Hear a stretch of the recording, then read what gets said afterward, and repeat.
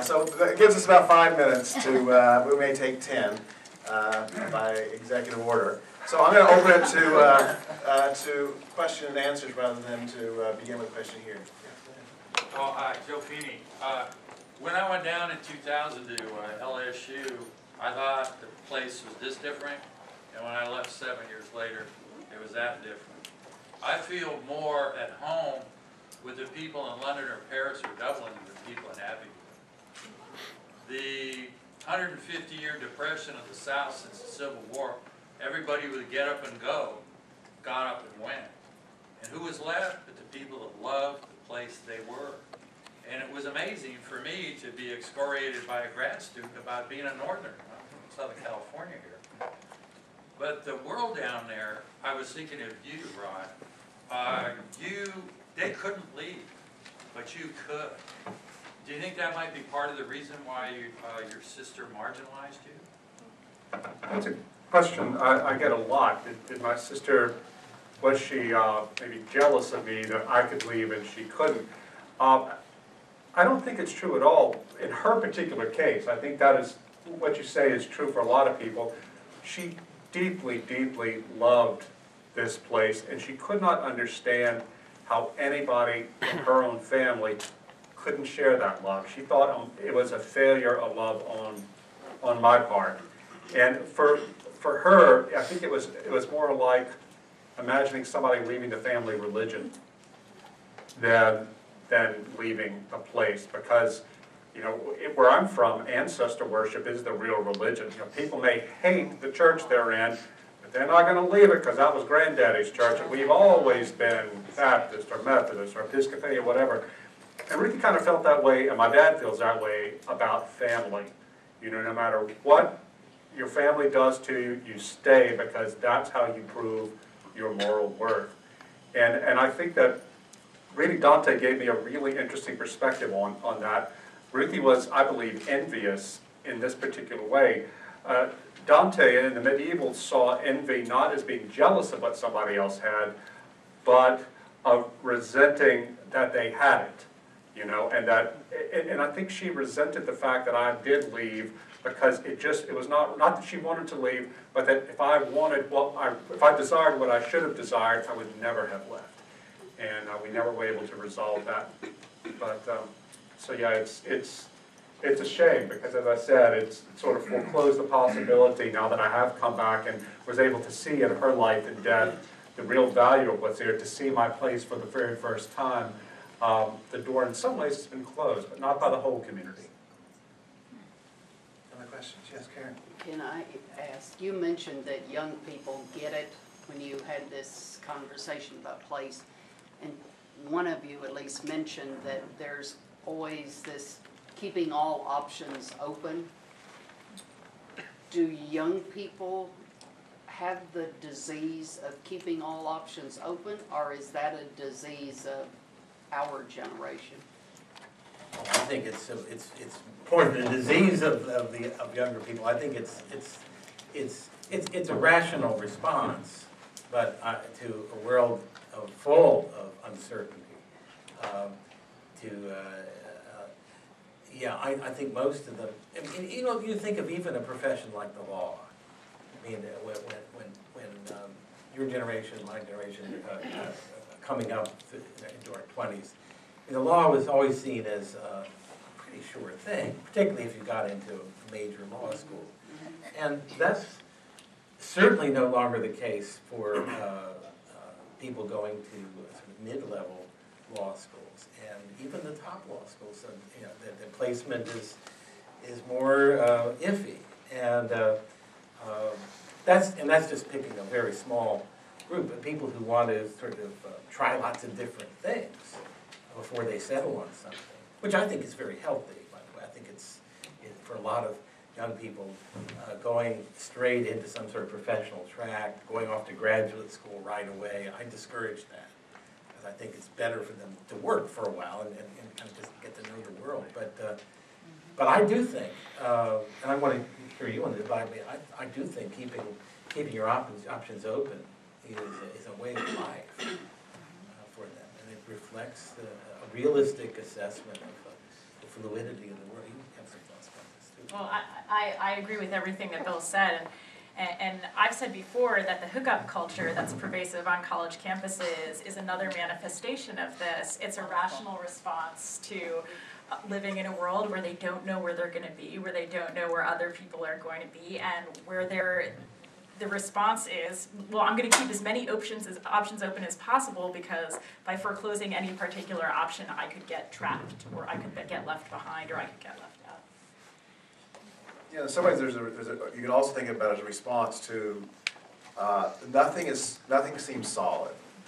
Very few places uh, outside the South, or as you described here, I mean, uh, uh, Oklahoma is definitely not the South. And, uh, and if you go back there, it doesn't, it doesn't seem to be the place you grew up. It doesn't seem to be, it seemed to change so quickly. And if you're twenty-five years old and you've already experienced that where you come from, or the places you came from, are not the same, and there's no sense that, you know, that uh, not only do their, often parents will divorce and, and, and move to two different places, uh, their schools change, everything changes. You get a strong sense that, that, that unless you have a lot of options, uh, your, all your real options are taken away unless you keep them open. And I think that sense of placelessness in a broader sense is also a word. Someone had their hand up over here? Yeah. Um, There were a couple of um, mentions of it, but I'd like to ask about the dangers of too strictly holding on to an idea of a, of too strictly defining place. And I can think of, uh, two examples come to my mind. One is uh, the city of Malibu. It's, the city of Malibu only exists as an incorporated city because they didn't want to build a sewer system. And because with the sewer system would have come development and now you can't develop here. And I think it's kind of border, borderline ludicrous that, given the demographics of Malibu, they want to maintain an undeveloped community. And the other example I can think of is, uh, I spent last summer working in Romania. And the town I was on, uh, is on, is a port town on the Danube River. And along the river, there are all these uh, boats permanently parked that serves that serve as restaurants, and they have bridges that go from the from the from the bank of the river onto the boat. And while I was there, it happened to be a time of flood, and a lot of the bridges were most all of them were not operative because the bridges were underwater and there were maybe two or three out of 20 or 30 that actually had built a bridge high enough to where you could still access this. And this was something that they knew about, and because it happens periodically. And there were, I saw a lot of other examples of things like this in Romania too. And when I'd ask one of them, when I asked a Romanian about this, why didn't they all just build the bridge higher when you know this is going to be coming? The response I would always get would be some form of, "Oh, that's just how we do things here in Romania," and this is how we do things in this place, even though they know it's going to be a problem. So, isn't there really some danger of maybe stagnation or even depreciation if you're clinging too strongly onto this idea? I think that's an example of what I would call tra- uh, tra- extreme traditionalism, which is different from, uh, I mean, a living tradition is one that adapts. This is, seems to be a kind of hidebound, uh, uh, you know, this is the way our fathers did it, so this is the way we're going to do it. Um, I don't, I don't know whether, uh, I mean, one of the things that I, in the book, I, I try to emphasize is that for a place to be a place, it has to be dynamic, it has to have, it has to have things for young people to do, to come back to. Rod emphasized some of this too, there has to be work, there has to be uh, a sense of development. I mean, it- of, of, of, more things to be accomplished, of, uh, of progress, of the possibilities of progress. So I, I, I would, I think that's an unhealthy sense of place that you're describing, and, and, and therefore perilous, I would agree, but I'm, I'm not sure that a sense of place requires that. Well, Bill, you know, you, one thing I really liked about your essay in the book was talking about the world, need- we need to address the world as it is. And that immediately brought to mind Walmart, which is, everybody's got an opinion about Walmart. When Walmart in the nineties thought about coming to our town, there was a huge fight over it, and they didn't come. The, I found myself on the, even though I was living away, I found myself on the other side from my father. My father wanted Walmart there. He's a working class guy, said, we need this place here.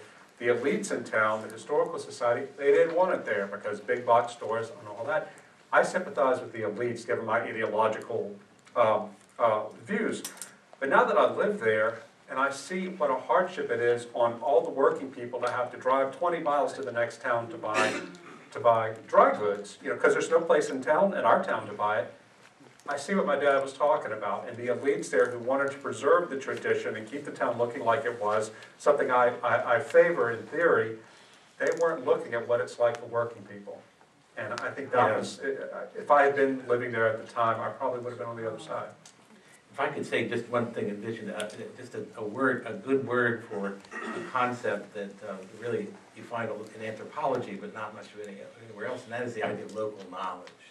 That there are ways in which people, um, often in ways that combine science or some kind of quasi-science with old wives' tales and mythology and, and uh, sort of uh, uh, uh, legendary wisdom, um, the way these things come together to sort of uh, structure the way people think about how to, to deal with both the natural and built environment around them. And I think it, there's a way in which the cosmopolitan worldview militates against that. Now, how that works out in the case of Walmart is maybe paradoxical, but um, you don't want to assume that you know, if sitting in your, you know, Upper East, Upper East Side uh, uh, condo, what's best for the people of St. Francisville, uh, because you know something about the economics of big box stores. I don't mean you, you know, Well, one doesn't. I just want to say really quickly, last night I had dinner with Mike Sugimoto, who teaches here at Pepperdine, and we, he's a, he teaches Japanese culture and history, and he was telling me that in Fukushima, in Japan, where they had the, the tsunami, said they had stone markers there that had been there since time immemorial, saying, do not build beyond this. Well, in modern times, they completely ignored it. These are precisely the places that were wiped out by the tsunami, Yeah. but, because modern people thought they knew better. Katrina. Yeah. You had a question?